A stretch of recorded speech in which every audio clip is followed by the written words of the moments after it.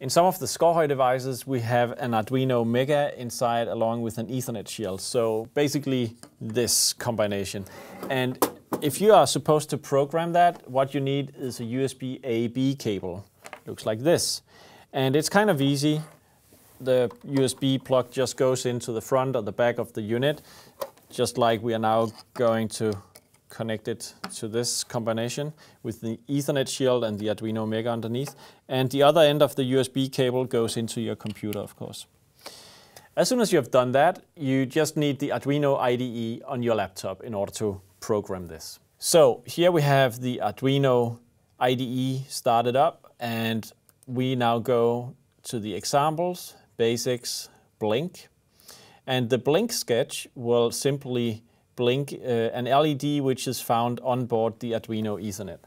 And um, if we look at this one, we are sort of in trouble because the um, Ethernet shield is located on top of the Arduino uh, Mega. So I'm just gonna take the shield off and I'm gonna place the USB cable again.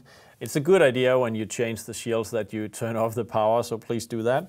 But what we now see is the uh, LED um, on this board. I think this is the one which is currently orange.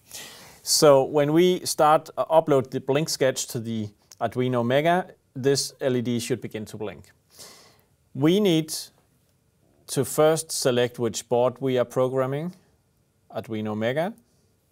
Then we press the upload button and you will see it's compiling the sketch, it's now going to upload and it gives us the choice between Bluetooth, which we are not using, and then the USB modem down here. So you select USB modem, press OK, and it uploads. It's done uploading, everything is fine.